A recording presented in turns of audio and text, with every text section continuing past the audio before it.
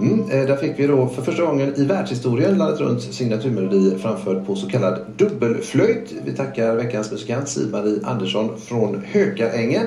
Fler sådana här eh, versioner och varianter av våra signaturmelodi de kan ni skicka till eh, vår mejladress lantrunt.svt.se eller på någon form av skiva eller platta eller sticka till vår vanliga adress. Sen vet jag att Siv-Marie hade en låt till faktiskt. Vi kan väl lyssna på den också då.